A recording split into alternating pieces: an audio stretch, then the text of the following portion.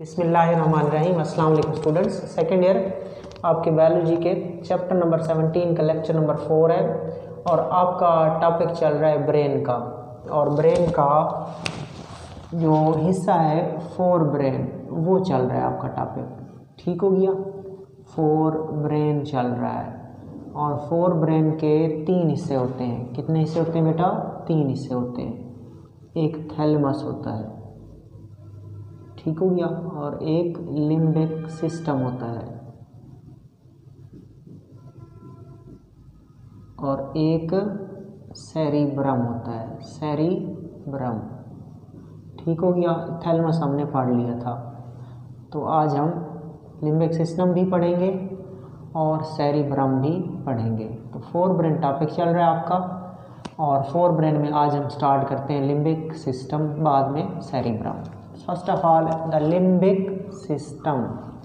The limbic system is located in an arc between the thalamus and the cerebrum.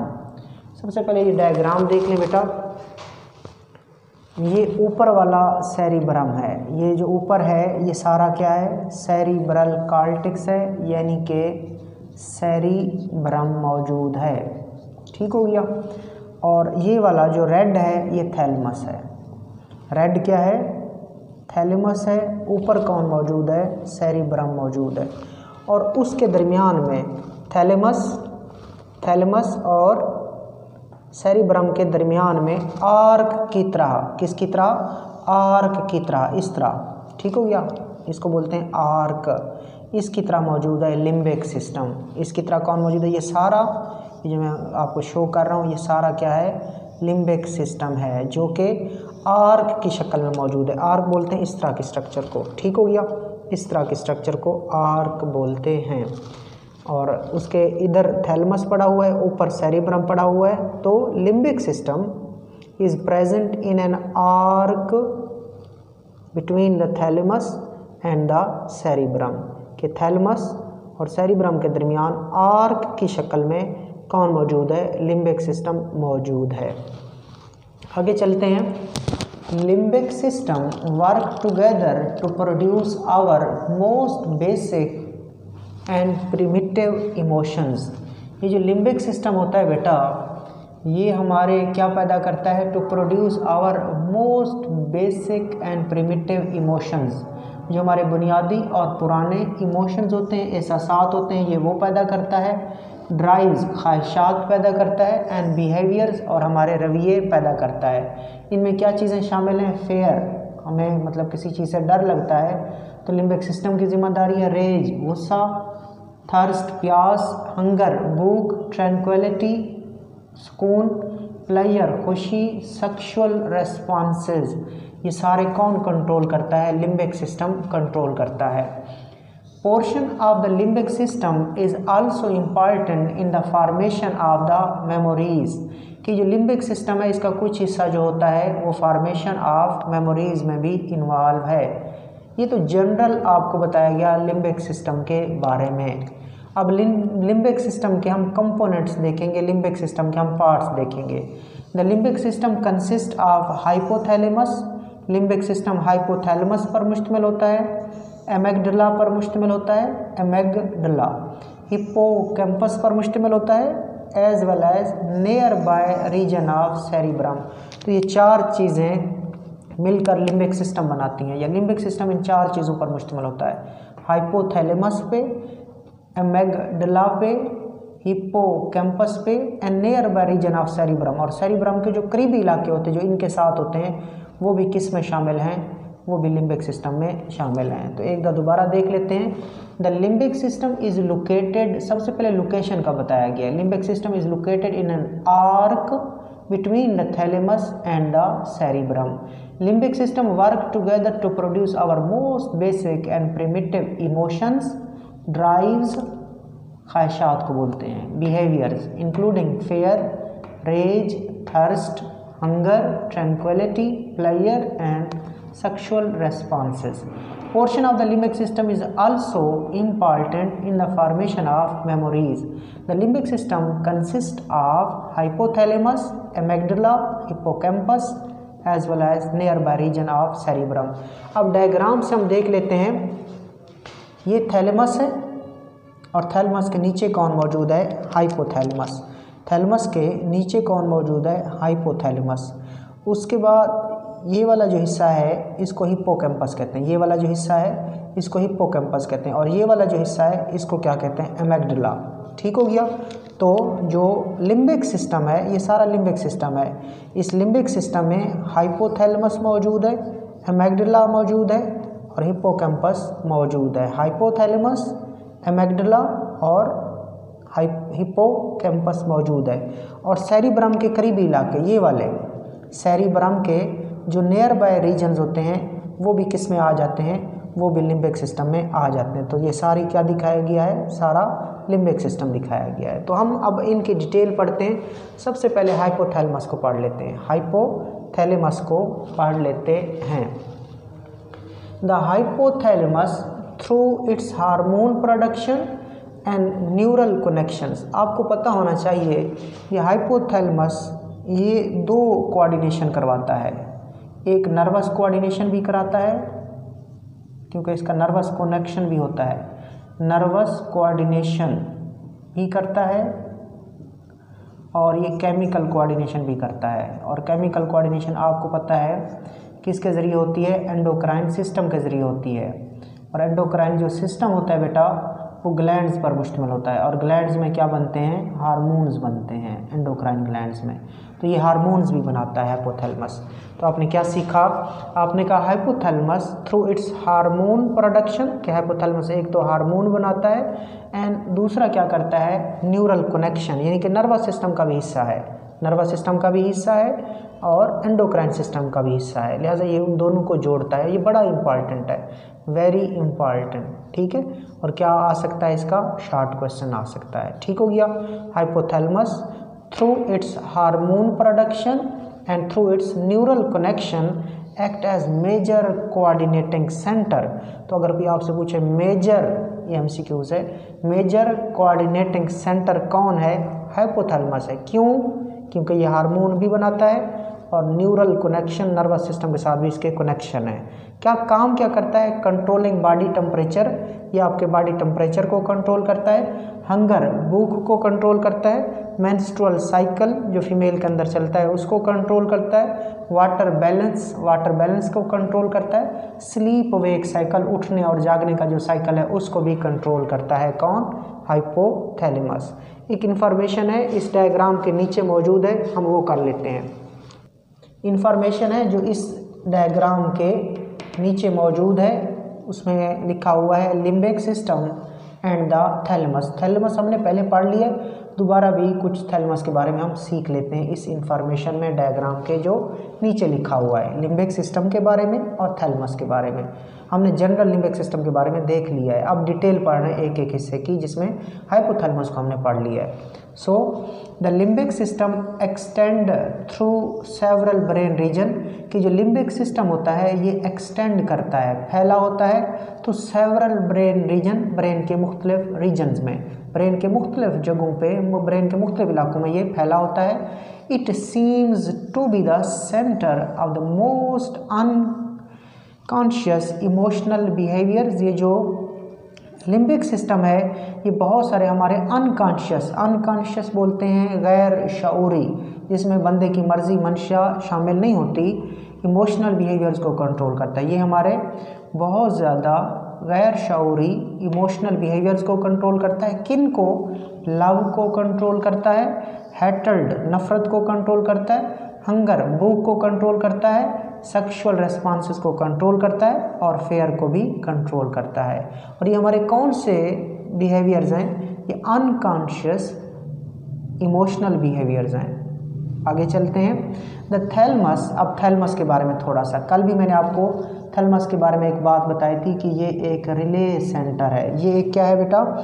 Relay centre है। इसका मतलब क्या है कि कोई भी मालूमात जो बॉडी से ब्रेन के पास जाएगी वो सबसे पहले किसको क्रॉस करेगी? रिले सेंटर को, यानी कि थैलमस को क्रॉस करेगी। मैंने कहा था सिवाय नोज़ वाली इंफॉर्मेशन के स्मेल वाली इन्फॉर्मेशन के, बाकी सारी इन्फॉर्मेशन थैलमस के पास जाती है। फिर थैलमस उनको ब्रेन के पास भेजता है, ठीक है? So the thalamus is a crucial relay centre तो आ गया है एम सी क्यूज़ आ जाए कि क्रूशल रिले सेंटर कौन है? अहम रिले सेंटर कौन है? अहम रबते का मरकज़, रबते का मरकज़ कौन है? थैलमस है। एमंग द सेंसेस ये सेंसेस का एक रिले सेंटर है the limbic system and the cerebral cortex किस किस के दरमियान? लिम्बिक सिस्टम के दरमियान और सेरिब्रल कार्टिक्स के दरमियान रिले सेंटर कौन है? ये देखें थैलमस मौजूद है। ये रबते का मरकज़ रिले सेंटर है लिम्बिक सिस्टम के दरमियान और सेरिब्रल कार्टिक्स के दरमियान। आगे चलते हैं हम लिम्बिक सिस्टम का हाइपोथैलमस आपने देख लिया। लिम्बिक सिस्टम का दूसरा कंपोनेंट दूसरा पार्ट देखते हैं, जिसका नाम है amygdala in the amygdala clusters of neurons produce the sensation of the player के एमेगडला के अंदर न्यूरॉन का मजमू मौजूद है न्यूरॉन की कलेक्शन मौजूद है, जो कि कौन सी सेंसेशन पैदा करते हैं बेटा? प्लेयर खुशी को कहते हैं। पनिशमेंट सज़ा वगैरह and sexual arousal when stimulated कि अमेगडला के अंदर वो न्यूरॉन हैं, जब उन न्यूरॉन को स्टिमुलेट किया जाता है तो हमारे अंदर मुख्तलिफ़ सेंसेशंस पैदा होती हैं। उनमें से एक सेंसेशन प्लेयर है, एक पनिशमेंट है और एक सेक्सुअल अरोजर है अरोजल है। ठीक हो गया? It is also involve in the feeling of the fear and the rage इसके अलावा ये जो अमेगडला है, ये उन फीलिंग्स को भी कंट्रोल करता है, जिनके अंदर बंदे को गुस्सा लगता है। ठीक हो गया। आ, इसका मतलब होता है डर लगता है और रेज का मतलब गुस्सा लगता है। तो ये एमेगडला के काम देखे। ये भी क्या बनेगा? आपका शॉर्ट क्वेश्चन बनेगा कि एमेगडला क्या है? नेक्स्ट देखते हैं लिम्बिक सिस्टम का तीसरा हिस्सा हिप्पोकैम्पस जब हिप्पोकैम्पस आए तो आपने मेमोरीज यादाश्त वगैरह ये इसको याद करना है। It plays an important role in the formation of long-term memory and thus it is required for learning ठीक हो गया? जो हमारी लॉन्ग टर्म मेमोरी होती है, जो चीज़ें हमें काफ़ी देर तक याद रहती हैं, उसमें किसका किरदार होता है? हिपोकैम्पस का किरदार होता है। जब हम कोई चीज़ याद कर लेते हैं ना तो फिर हमें लर्निंग में आसानी होती है, सीखने में आसानी होती है। सो ये लॉन्ग टर्म मेमोरी को कंट्रोल करता है, जिससे हमें लर्निंग में, सीखने में आसानी होती है। अब चलते हैं बेटा सेरिब्रम की तरफ़, जो फोर ब्रेन का तीसरा हिस्सा है, और ये आपका वेरी इंपॉर्टेंट लॉन्ग क्वेश्चन है। और ये दिमाग का भी सबसे बड़ा हिस्सा है, सबसे अच्छा तरक्की याफ्ता हिस्सा है। इसको कभी कभी अकेले को भी ब्रेन बोला जाता है। सो सैरी ब्रम हम स्टार्ट करने लगे हैं।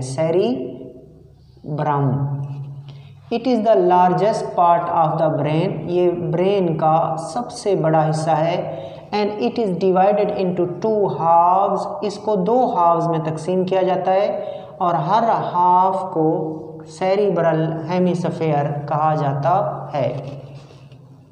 अब, ये जो बेटा सेरिब्रम है सेरिब्रम जो है, इसको दो हाफ्स में तकसीम किया जाता है। एक ये हाफ़ और एक ये हाफ़ एक कौन सा हाफ़ होता है? लेफ़्ट हाफ़ होता है और एक कौन सा हाफ़ होता है?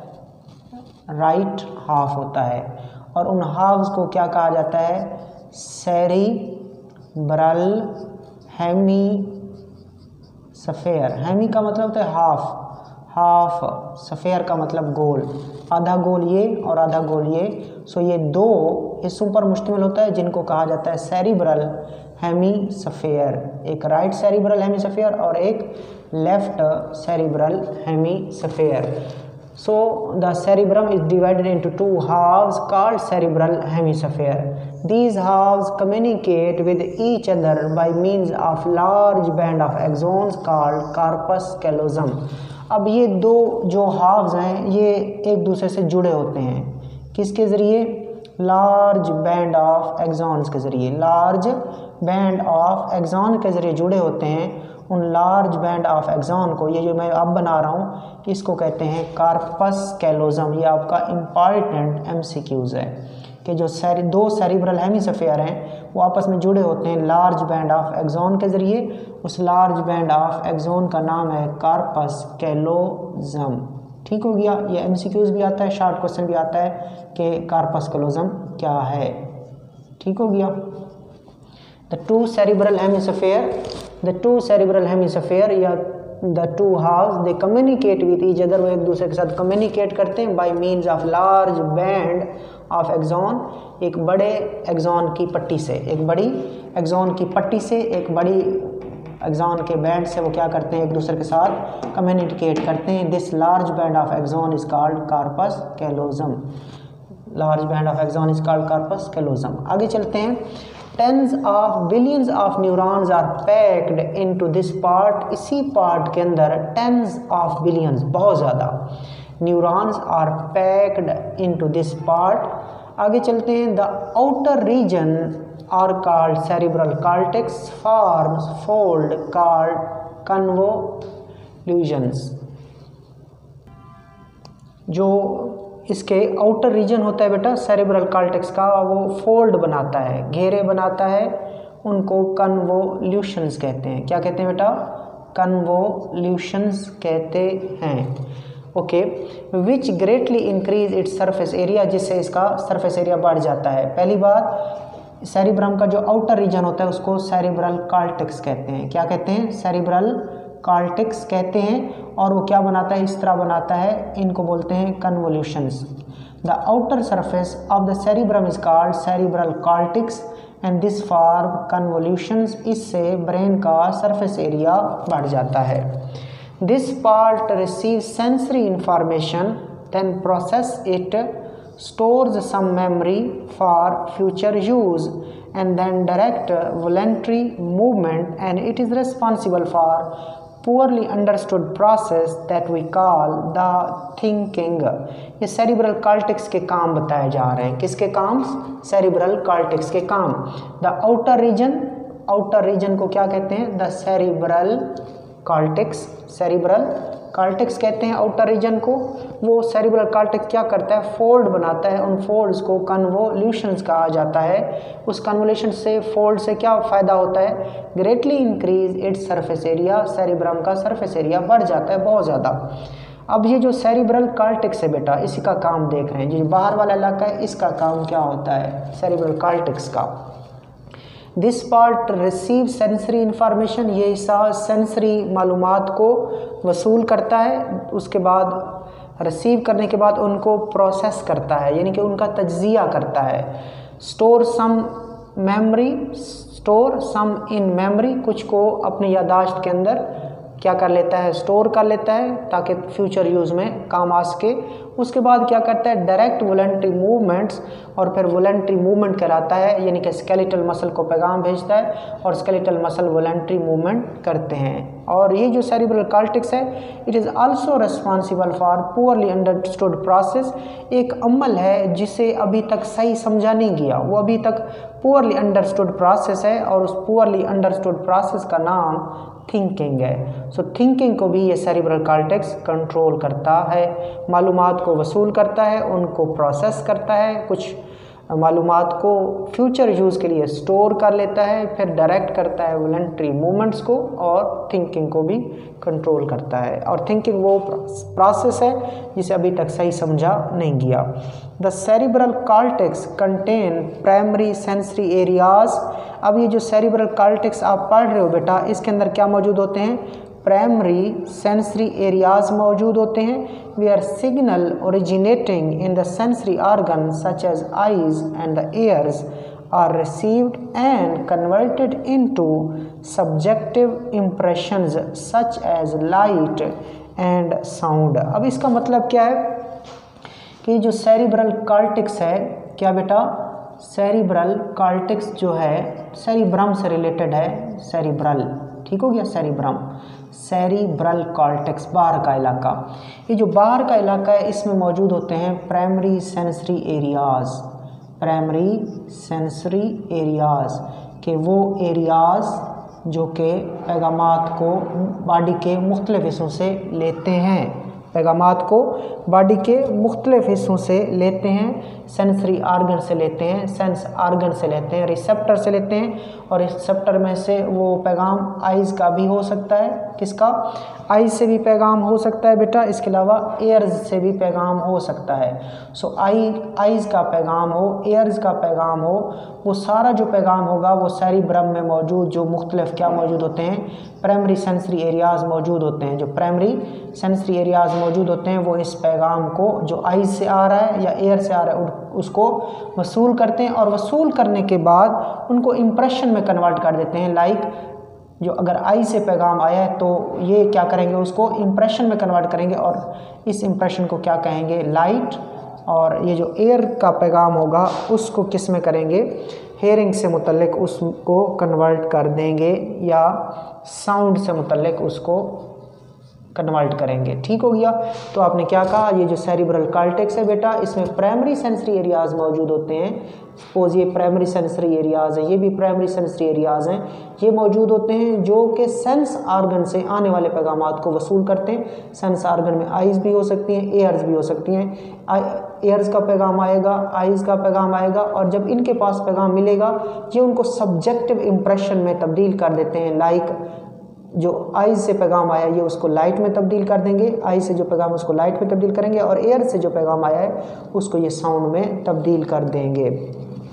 इसके बाद near by association areas interpret this information इसके अलावा ये सपोज़ प्राइमरी सेंसरी एरियाज़ हैं, ये जो मैंने पहले बनाए, ये प्राइमरी सेंसरी एरियाज़ हैं, इनके साथ नियर बाय रीजन्स होते हैं, इनके साथ नियर बाय रीजन्स होते हैं। प्राइमरी सेंसरी एरियाज़ के साथ सेकेंडरी सेंसरी एरियाज़ होते हैं या नियर बाय रीजन्स होते हैं, ये रीजन हो गया, ये रीजन हो गया, ये हो गया, ये हो गया। प्राइमरी सेंसरी एरियाज़ के साथ कुछ नियर बाय रीजन्स भी होते हैं, जो क्या करते हैं जो मालूम आई हैं ना सेंस आर्गन से आई से जो मालूम आई हैं एयर से जो मालूम आई हैं, वो नियर बाय एरियाज़ क्या करते हैं, उनका तजिया करते हैं, उनको इंटरप्रेट करते हैं। आगे चलते हैं। This area is also involve in speech and also receive and interpret sensation of the touch from all part of the body यही जो सेरिब्रल कार्टिक्स है ये स्पीच जो हमारी बोल चाल होती है जो अल्लाह ने सिर्फ़ इंसानों को दी है उसमें भी इस आ, मतलब काम करता है। So this area this area why cerebral cortex is also involve in speech and also receive and interpret sensation from touch from all parts of the body के बॉडी के किसी भी हिस्से पे के ऊपर टच जो होती है उसकी सेंसेशन को यही इलाका रिसीव भी करता है और फिर उसको इंटरप्रेट करता है यानी कि उसका तजिया करता है। This area is also a centre for sending impulse to the voluntary muscle यही जो सेरिब्रम है यही जो सेरिब्रल कार्टिक्स है ये वो इलाका है जो कि इम्पल्स को पैगाम को वॉलेंट्री मसल के पास भी भेजता है, जिससे क्या होता है कंट्रोलिंग मूवमेंट वो वॉलेंट्री मसल मूवमेंट करते हैं और ये इलाका उन मूवमेंट को कंट्रोल करता है। तो ये आप देख रहे हैं इसके मुख्तलिफ़ काम। This is also involve in intelligence यही सेरिब्रम इंटेलिजेंस में इन्वॉल्व है रीजनिंग में इन्वॉल्व है और जजमेंट में इन्वॉल्व है, जो हम क्या करते हैं, हमारी जहानत होती है, उसमें ये इन्वॉल्व है। रीजनिंग बहस और इस्तलाल हम करते हैं, ठीक है, और जजमेंट हम कोई फैसला करते हैं। ये सारे काम कौन करता है? सैरिब्रम करता है। अब एक और बात, ये आप देख रहे हैं बेटा, ये है आपका लेफ़्ट सेरिब्रल हेमिसफेयर ये क्या है आपका?